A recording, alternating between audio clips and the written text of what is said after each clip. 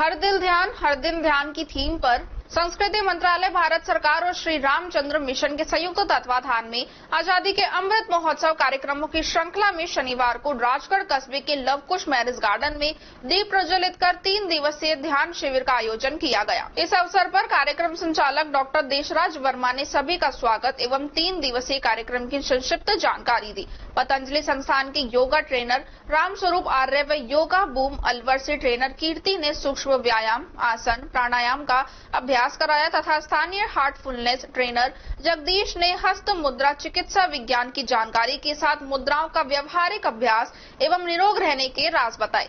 Shri Ramchandra mission के स्थानीय केंद्र समन्वयक हीरा लाल ने प्राणाहुति के साथ ध्यान की विधि समझाई। साथ ही अलवर से जोनल प्रभारी कमल सिंह ने यौगिक प्राणाहुति से युक्त ध्यान सत्र संपन्न कराया। साथ ही अलवर से जोनल प्रभारी कमल सिंह ने यौगिक प्राणाहुति से युक्त ध्यान सत्र संपन्न कराया। हार्टफुलनेस व brighter mind trainer Shrimati Ritu ने तनाव मुक्ति की क्रिया के साथ बच्चों के दिमाग को तेज करने वाले व्यायाम का अभ्यास तथा छोटे छोटे बच्चों ने आँखों पर पट्टी बांधकर पुस्तक पढ़कर, रंग पहचान कर सबको आश्चर्यचकित कर दिया। इस अवसर पर सैकड़ों महिला पुरुषों के साथ लॉयंस क्लब, गांधी दर्शन सेवा समिति, विभिन्न शैक्षणिक संस्थान, आईटीआई आदि संस्थानों के अधिकारी, कर्मचारियों ने पूर्ण मनोयोग से कार्यक्रम में शामिल होकर आगामी दो दिवसों में होने वाले कार्यक्रमों में शामिल होने की इच्छा प्रकट की। आगामी दो दिवसों में भी लवकुश मैरिज गार्डन राजगढ़ में ही सुबह साढ़े पाँच बजे से सात बजे तक का समय रहेगा।